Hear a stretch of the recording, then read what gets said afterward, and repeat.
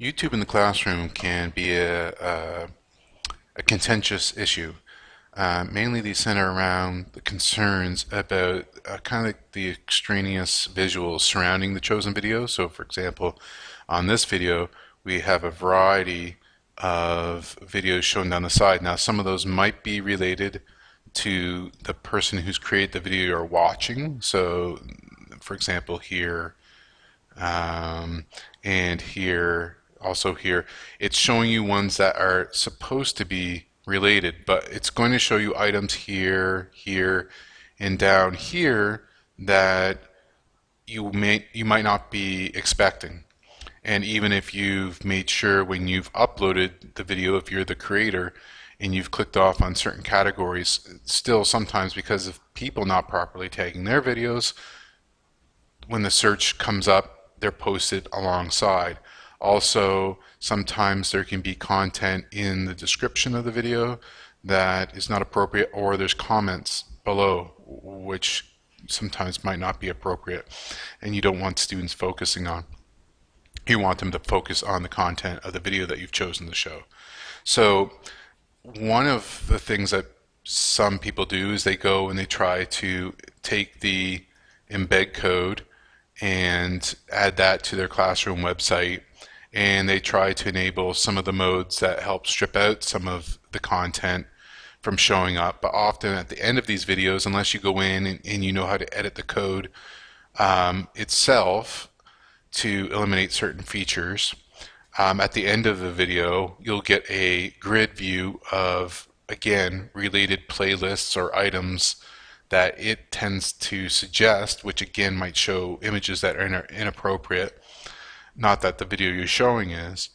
So that can be can be for the average teacher a more cumbersome process. And what you can do, and I came across this website, um, Quietube, and I'll show you here just by clicking on the tab. This is basically what you see when you come to the site. And it gives a brief description of what to do, but basically it's this you take you make sure that you when you your favorite bar is showing. So if it's not just go up to the title area click and then click on favorites bar.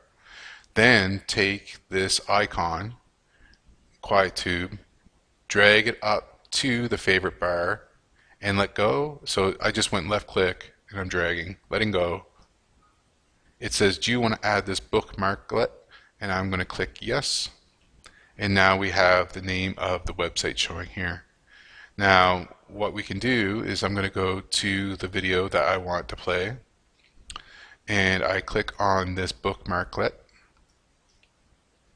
It's going to reload the window and it's now showing the video. It's with the exception of this one ad that advertises for Google it's showing you uh, a stripped out version of the video. So there's no, none of that extraneous material around it. You can actually choose between a white and a black background. You can go full screen and you can play your video. And when you come back from full screen you're still in the stripped out version. So again that might be an option for some teachers. You know you're always checking your video ahead of time to make sure the content is okay and it's the actual video that you want to watch the entire way through that hasn't been edited or modified by someone. But again, this might be a, a quick and easy option. Um, and again, if once I close my browser, open it back up again, that's always going to be there. So you just go to the page, click on it, and hopefully have a good YouTube experience in the classroom.